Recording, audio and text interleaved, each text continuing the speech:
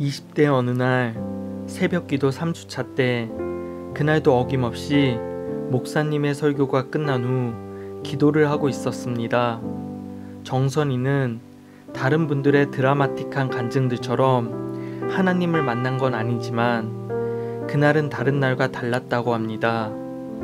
천사의 나팔 소리를 들은 것도 아니고 하나님이 빛으로 간통시켜 준 것도 아니었지만 한 가지 확실한 건 그날 그녀가 만난 분은 예수님이었다고 합니다. 그날따라 수많은 이들의 통성 기도와 방언 기도가 하나도 들리지 않았습니다. 고요함 속에서 하나님은 그녀에게 다가왔고 서서히 스며들었습니다. 그녀는 눈물이 났고 조용한 가운데서 확실한 음성을 느꼈습니다. 내 딸아, 내가 너를 사랑한다. 내가 너를 사랑한다. 정선이는 자신이 감당할 수 없는 눈물을 흘렸고 너무나 확실한 그 느낌에 자신을 주체할 수 없었습니다. 자신이 죄인일 수밖에 없음을 알게 되었고 어떤 죄에도 상관없이 하나님은 자신에게 무조건적인 사랑을 주신다는 것을 알게 되었습니다. 그녀는 그 사랑에 무릎 꿇을 수밖에 없었고 끊임없이 감사하다고 죄송하다고 부르짖었습니다.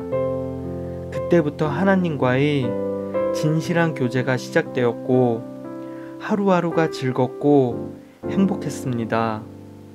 물론 실패한 날도 있었고 슬픈 날도 있었지만 하나도 걱정이 되지 않았습니다. 하나님과 진정으로 교제한 그때부터 하나님은 그녀가 소원하는 모든 것을 퍼부어 주시기 시작했습니다. 물질, 명예, 사람, 이 모든 것을 손에 담기 힘들 정도로 부어 주셨습니다. 프로그램은 하루에 6개에서 7개 정도를 해야 할 정도로 늘어났고, 잠을 3시간 정도밖에 못 잘 정도로 바빴고 시상식마다 상을 받게 하셨고 방송을 아홉 개나 하면서도 지치지 않게 해주셨습니다. 그렇게 승승장구하면서 멋진 남편을 꿈꾸게 되었고 아이들과 함께 예배 드리는 상상을 하면서 그와 같은 행복한 삶이 끝나지 않고 영원할 것이라 생각했습니다. 그녀는 2007년에 사랑하는 사람을 만났습니다. 너무 사랑했고 너무 갑작스럽게 만나서 2개월 만에 결혼을 결심하고 6개월 만에 결혼을 했습니다. 하지만 영원할 것만 같았던 그녀의 행복은 2008년 9월에 상상할 수 없을 정도로 산산이 무너지게 됩니다. 남편은 빚이 있었고 결혼 전부터 그녀에게 돈을 빌렸으며 그 액수가 점점 커지기 시작했습니다. 많게는 몇 억, 적게는 몇백, 점점 돈이 새어나가기 시작했습니다. 2008년 8월 중순 남편은 잠시 머리 좀 식히고 오겠다고 한 후 집을 나갔고 보름째 연락이 되지 않는 상황이 되었습니다. 그리고 얼마 후 경찰서에서 전화가 옵니다. 그리고 남편이 시신으로 발견되었다는 소식을 전해 듣습니다.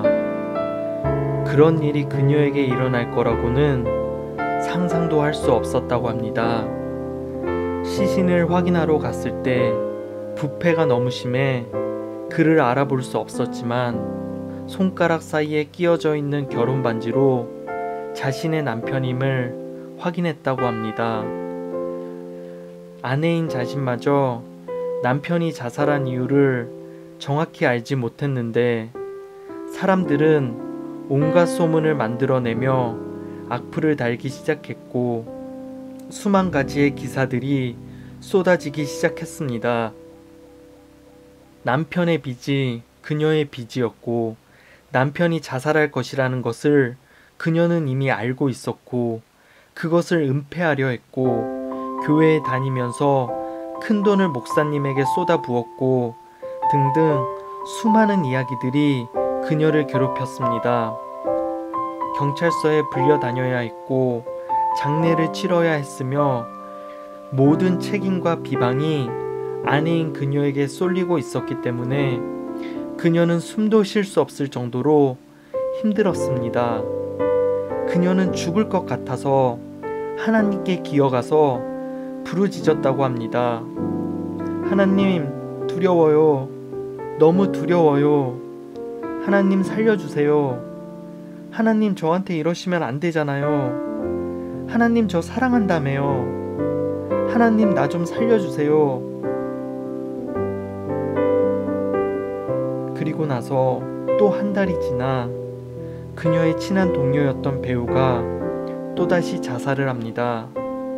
언론은 다시 이야기를 만들어내기 시작했고 그 배우와 남편 사이의 관계를 엮기 시작했습니다. 남편 일로 인해서 그 배우가 자살을 했다. 그 돈 때문에 그 배우가 자살을 했다. 등등 다시 그녀를 힘들게 하기 시작했습니다. 근데 그것도 모자라 그 배우의 친남편이 자살을 했고 다시 그 친동생이 자살을 했습니다. 2008년과 2009년 대한민국 연예계는 자살로 얼룩져 있는 시기였고 그 소용돌이 속에 정선이가 있었습니다. 모두 그녀가 사랑했고 친했고 관계가 있던 사람들이었지요. 그녀는 코미디언이었습니다. 사람들에게 웃음을 주어야 하는 그녀를 둘러싸고 사람들은 자살을 하기 시작한 것입니다.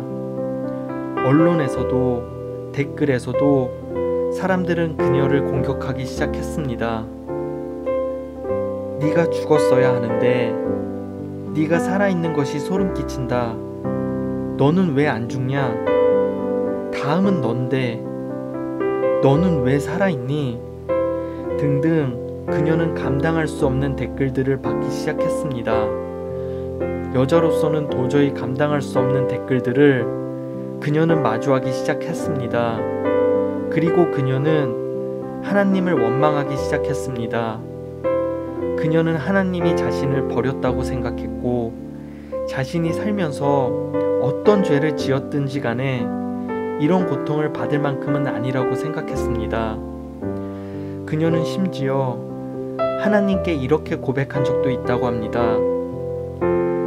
이제 당신 필요 없어요. 당신이 나 버렸잖아. 딸이라고 부르더니 당신 같은 사람 필요 없어요. 나한테 이거 죽으라는 거잖아.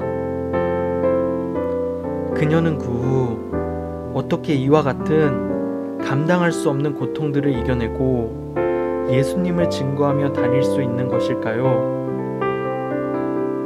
지난 8년 동안 그녀는 끊임없이 하나님께 매달리고 삐지고 화내고 그러다가 다시 잘못했다고 붙들고 하나님께 맡기고 기다리고 또 초조해져서 붙잡고 매달리고 떼쓰고 이런 정말 말도 안 되는 하루하루가 쌓여서 8년의 세월이 흘렀다고 합니다.